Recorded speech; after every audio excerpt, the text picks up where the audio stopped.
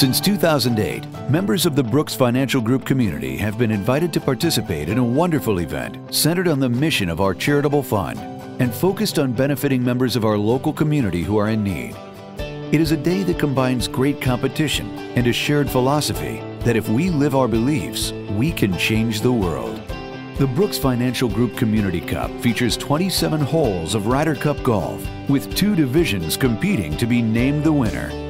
While the Nicklaus team may have won this year's cup, the real winner of the day was the Brooks Financial Group Community Fund, who chose three organizations at Catholic Charities as recipients for this year's fundraising efforts. Our Daily Bread Employment Center,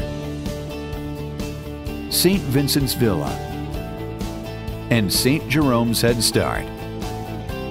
The effects of our vision and mission in the community are humbling and we must stay the course as we endeavor to make a lasting and dynamic impact. By attacking the pressing issues faced by local families today and extending our hope, love, and care, we can continue to make a difference in the lives of others.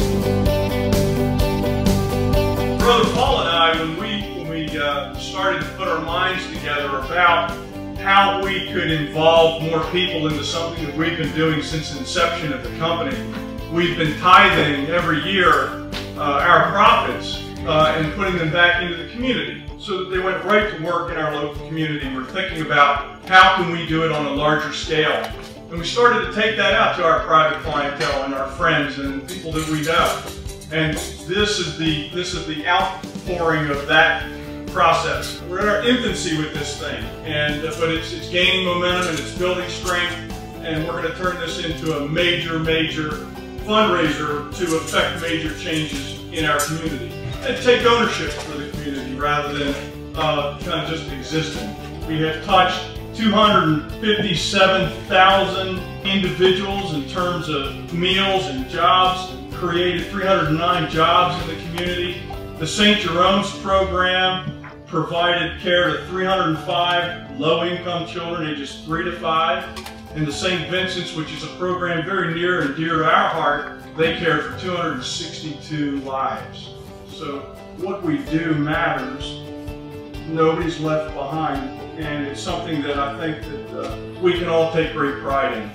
And I wanted to make sure that we, uh, we shared those numbers with you. You understand the impact that the Catholic Charities and its programs are providing in our local community. And whatever fractional investment we can make into the cause of uh, the things that are going on for our families and our children, you know, then that's what we're meant to do. So thank you all very, very much.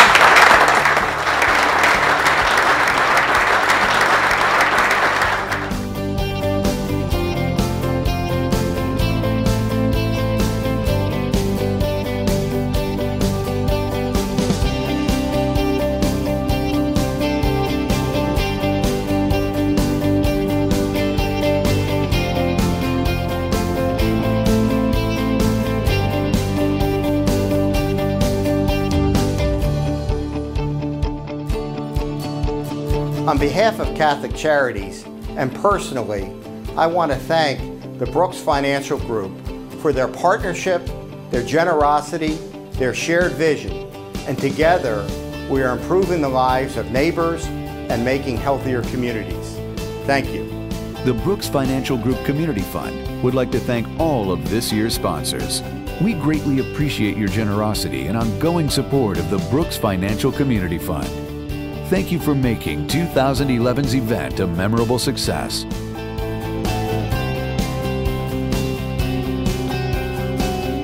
We look forward to seeing all of you at this year's 5th Annual Community Cup.